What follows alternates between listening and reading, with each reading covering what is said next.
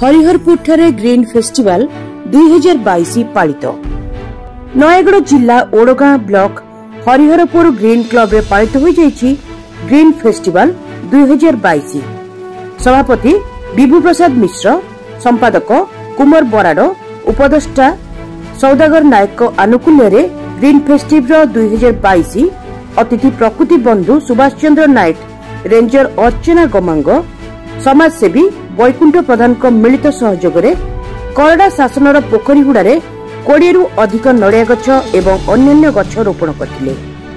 ଏହି green club ପ୍ରାୟ କୋଡ଼ିଏ ବର୍ଷରୁ ଉର୍ଦ୍ଧ୍ୱ ହେବ ବହୁ ସମାଜର ଉନ୍ନତିମୂଳକ କାର୍ଯ୍ୟକ୍ରମ କରିଆସୁଛନ୍ତି ତାହା ହେଲା ପୋଖରୀଗୁଡ଼ା ସଫା କରିବା ରାସ୍ତା ସଫା କରିବା ଓ ବହୁ ସଚେତନ ବାର୍ତ୍ତା ବାଣ୍ଟିବା ଇତ୍ୟାଦି।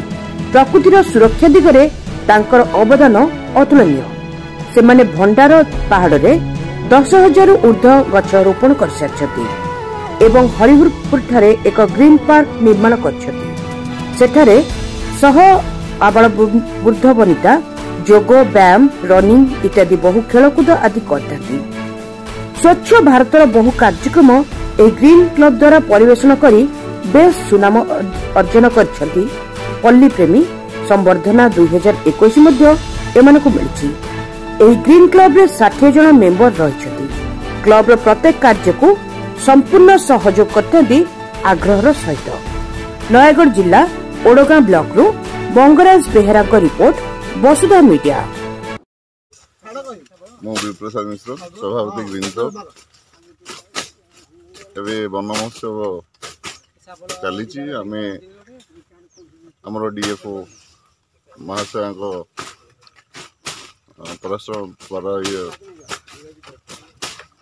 ତାଙ୍କର ଆଦେଶରେ ଆମେ ଏହାକୁ ଉତ୍ସବକୁ ବନ ମହୋତ୍ସବ ଉତ୍ସବକୁ ପାଳିତ କରିବା ଉଦ୍ଦେଶ୍ୟରେ ଏବଂ ପରିବେଶର ସଂରକ୍ଷଣ ଉଦ୍ଦେଶ୍ୟରେ କରଡ଼ା ଗ୍ରାମର ପୋଖରୀ ଚାରିପଟେ ଆମେ ନଡ଼ିଆ ଗଛର ବୃକ୍ଷରୋପଣ କାର୍ଯ୍ୟକ୍ରମରେ ସମସ୍ତେ ସାମିଲ ଅଛୁ ଆମ ଗ୍ରୀନ୍ କ୍ଲବ୍ର ମେମ୍ବର ତଥା ବୃକ୍ଷପ୍ରେମୀ ସୁଭାଷ ନାୟକ କରଡ଼ା ବୃକ୍ଷପ୍ରେମୀ ରୁଚିଆ ପ୍ରଧାନ ଏବଂ ଆମର ସିନିୟର ମେମ୍ବର ସଦାଗର ନାୟକ ତଥା ସମସ୍ତ ମେମ୍ବର ଗ୍ରୀନ୍ କ୍ଲବ୍ର ସମସ୍ତ ମେମ୍ବର ମାନେ ଏହି କାର୍ଯ୍ୟକ୍ରମକୁ ସୁଚାରୁରୂପେ ବୁଲିବା ପାଇଁ ସକାଳୁ ଅଛି ଏଇ ଯେଉଁ ଗ୍ରୀନ୍ କ୍ଲବ୍ ଆପଣ ଗଠନ କଲେ ଏଇଟା କେବେ ଗଠନ କଲେ? ଏବଂ ଏଇ ଗ୍ରୀନ୍ କ୍ଲବ୍ ମାଧ୍ୟମରେ ଆପଣ ଏଇ ଯେଉଁ ଭଣ୍ଡାର ପାହାଡ଼ରେ ହେଉ କି ଚାରିପଟେ କେତେ ଖଣ୍ଡେ ଗଛ ଲଗେଇଲେଣି? ଆକ୍ଚୁଆଲି ଏଇ ଗ୍ରୀନ୍ କ୍ଲବ୍ ତ କାମ କଲାଣି ପନ୍ଦର ବର୍ଷ ହେଲାଣି। କିନ୍ତୁ ୟା ଭିତରେ ଆମେ ପ୍ରାୟ କୋଡ଼ିଏ ହଜାରରୁ ଅଧିକ ପ୍ଲାଣ୍ଟେସନ୍ କରିସାରିଲୁଣି। ଭଣ୍ଡାର ମୁଣ୍ଡିଆ ପୁରା ଲଣ୍ଡା ହେଇକିଥିଲା ତାକୁ ପୁରା ଏବେ ଆଉ ପଥର ଦେଖାଯାଉନି ଏତେ ପ୍ଲାଣ୍ଟେସନ୍ ହେଇଛି।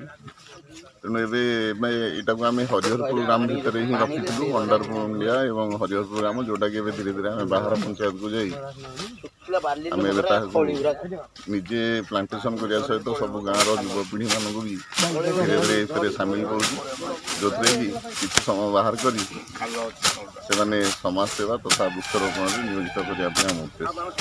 ଫାଷ୍ଟ ତ ଗ୍ରୀନ୍ କ୍ଲବ୍ ଫେଷ୍ଟିଭାଲ୍ ପାଇଁ ଗ୍ରୀନ୍ କ୍ଲବ୍ର ସମସ୍ତ ମାନେ ଯେଉଁମାନେ କାମ କରୁଛନ୍ତି ସବୁ ମେମ୍ବରକୁ ଶୁଭେଚ୍ଛା ଜଣାଉଛି।